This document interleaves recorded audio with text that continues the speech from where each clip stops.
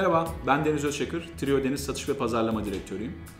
E, tekne alıcılarının tekne alım sürecinin başında en çok sorduğu sorulardan bir tanesi yelkenli tekne mi, motor yat mı almalıyım sorusu. Son 10 senedir yelkenliler motor yata, motor yatlar da yelkenlere yaklaştı desem çok ilginç bir ifade olabilir ama ciddi anlamda bu ifadenin karşılığı var. E, hala birbirlerinden çok farklı ve çok farklı hayat tarzı size öneren ürünler olmasına rağmen yelkenliler konfor, kullanım kolaylığı ve sunduğu alanlar açısından 10 senedir motor yatlara çok yaklaştı. Ve aynı zamanda yelkenler en çevreci bilinen ürünler.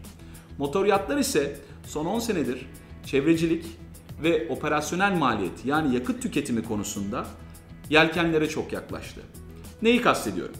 E, motor yatlar artık modern trawlerlar e, ve uzun seyir yapabileceğiniz daha küçük makineli ama daha stabil tekneleri daha fazla sunmaya başladılar. Bu da daha az yakıt yakarak yani operasyonel maliyetinizi düşürerek ve de daha az çevreye zarar vererek seyir yapma imkanını size sunuyor ki bu çok önceleri hep yelkenliğe atfedilen bir özellikti. Yelkenler ise 10 sene öncesinde motoryata göre çok daha az konforlu, çok daha zor kullanılan ve alanları çok daha dar ve kısıtlı tekneler olarak bilinirlerdi. Fakat yine son 10 senede olan gelişmeler, yeni ürünler, yeni teknolojiler, kullanım kolaylığı, alan ve konfor konusunda yelkenleri motor yatlara yaklaştı, yaklaştırdı. Bu benzerliklere rağmen hala iki ürün birbirinden çok farklı. En önemli farklardan birisi ikisinin getirdiği hayat tarzı. Eğer sizin için bir yere varmaktan ziyade oraya gitmek yani seyir önemliyse, seyir esnasındaki etkileşim, aktivite, deniz üzerinde geçirdiğiniz zaman, o macera sizi daha çok çekiyorsa yelkenli sizin için doğru seçenek olabilir. Bundan ziyade teknedeki konfor, daha fazla güverte alanı, daha hızlı gidebilmek, her zaman hızlı olmasanız bile istediğinize daha hızlı gidebilmek ve bir noktaya varabilmek sizin için daha önemliyse, daha kısa sürelerde daha çok yol yapmak istiyorsanız o zaman motor yat sizin için daha doğru tekne olabilir. Her ne kadar birbirlerine benzeseler de operasyonel maliyet açısından hala yelkenliler özellikle yakıt tüketimi açısından motor yatlara göre daha avantajlılar.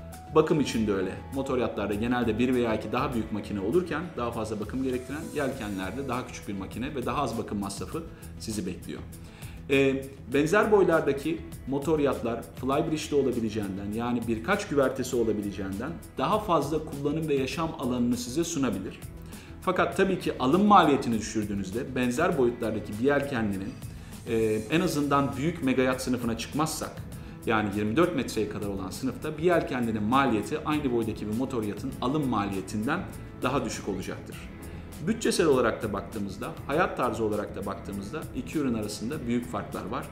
Fakat son 10 senedir motoryatların daha çevreci olmaya çalışması ve daha az yakıt tüketmesi aslında bir anlamda yelkenliğe öykünmesi anlamına geliyor.